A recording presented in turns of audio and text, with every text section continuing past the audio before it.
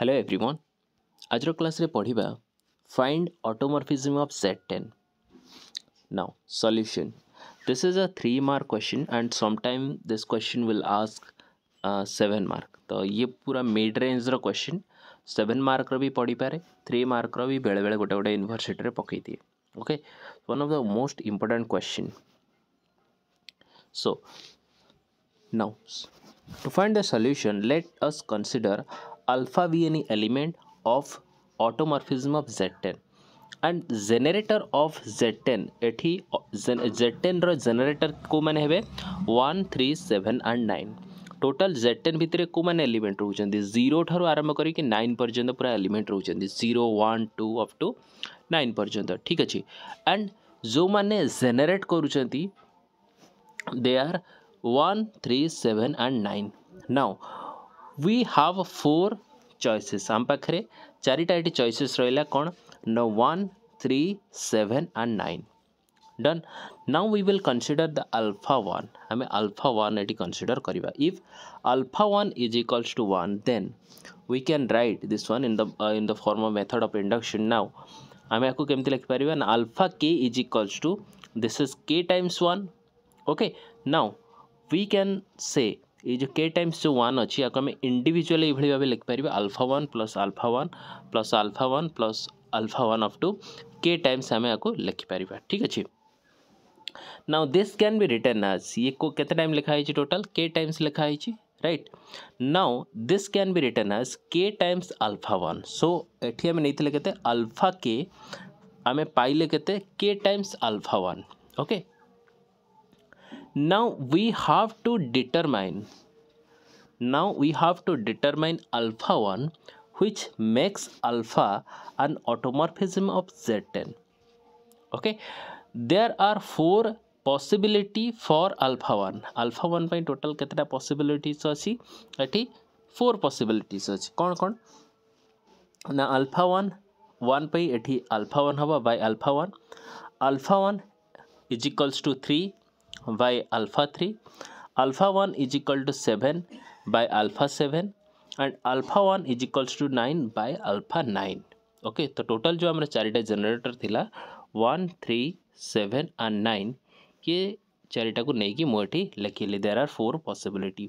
so now we observe that alpha one is an identity element one टा कौन कौन भी ग्रुप रो one टा हूँ कौन गोटे identity element right now for alpha three eighty आम वन को एटी वन टा हूँ कौन आइडेंटिटी एलिमेंट से आम कौन ना तो नेक्स्ट एलिमेंट ना alpha three for alpha three that is alpha three one is equal to three and आम थ्री को लेकिन जदि थ्रीटा ये जेनेटर हुए कार जेटेन ग्रुप्र देन आम कौ हिसाब से लिखिपर एमती लिखिपर for identity that means a cases के अच्छी वन अच्छी राइट एंड एटी आम के लिखिपर थ्री प्लस थ्री मड एंड एटी के लिखिपर three plus three mod ten तो ये टोटाल केमी हम three six nine okay so now देखु ये के थ्री एपटे है सिक्स है नाइन तापर, पुणी नेक्स्ट के three plus three plus three plus three okay mod ten तो ये आर भैल्यू के as R value as two similarly ये जो आउ गए थ्री आसो मैंने पाँचटा थ्री मड टेन जोटा कि हम आम कैसे फाइव ठीक अच्छे सेमती छटा थ्री मड टेन जोटा कि होट यही भाव ये टोटाल दसटा ही एलिमेंट रीक अच्छे जोटा कि ये थ्री द्वारा जेनेट हो के three six nine two five eight one four seven zero okay तो ये आरेंज आरेंज है कि नहीं बट आपको आरेंजमेंट कर एमती हो zero one two three four five six seven eight nine okay जो एलिमेंट जेड टेन भितर रोचे ताने कौन ये थ्रीटा कौन जेनेट करुच्ची एंड आइडेंटिटी वन तो सब जेनेट कर that is for sure okay similarly आम सेभेन आउ नाइन को ये नहीं पार ओके तो similar pattern that is equal to Z ten so three is the generator of Z ten and alpha three is on to also 1 1 now alpha 3 is an operation preserving since alpha 3 एठी आम operation preserving पाई ये एठी करदबा alpha 3 a plus b a, a b are uh, element of z that is uh, alpha 3 माने z10 row element okay alpha 3 a plus b, that is three को बाहर रखिली जहाँ नेली a plus b that is three a plus three b and three a को मुझे alpha three a and three b को लिखिली alpha three b that is hence alpha three belongs to automorphism of Z ten. तो similarly आम eighty alpha seven and alpha nine को automorphism of Z ten भितर रखिपर ठीक अच्छे now thus alpha one thus we have alpha 1 is equal to 1 where alpha is any identity and, आपको आम केमी लिखिपर ना alpha one is equal to three then alpha k is equal to three k alpha one is equal to seven then alpha k is equal to seven k alpha one is equal to nine alpha k is equal to nine k okay now How can we arrange this one? Automorphism of Z10 is equals to alpha 1, alpha 3, alpha 7, alpha 9 and this can be written as K, 3K, 7K and 9K. Got it? If we see the statement of Z10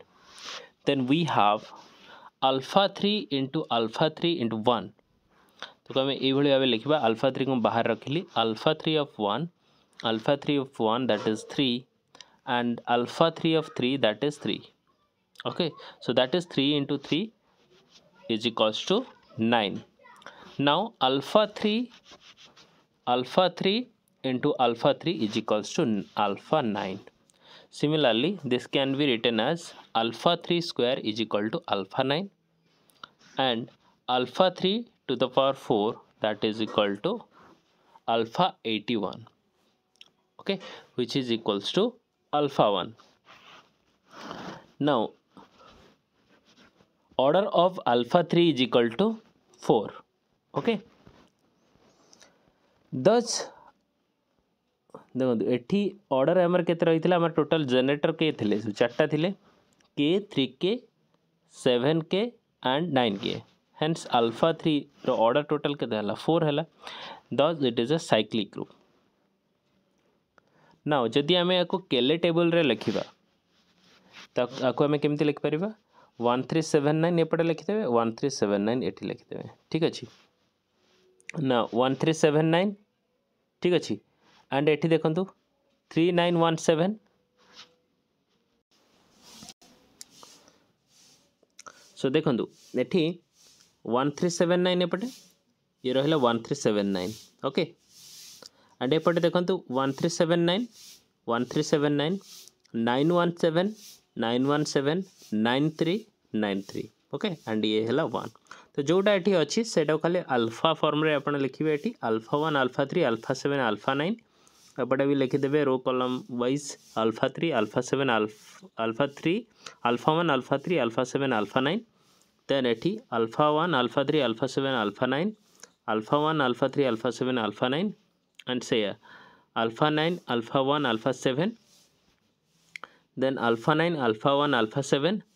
alpha 9 alpha 3 alpha 9 alpha 3 and this one is alpha 1 तो जहाँ ये अच्छी एटा को alpha firm रे खाली लिखिए ताको केले टेबल बेल की कहुए ठीक अच्छे?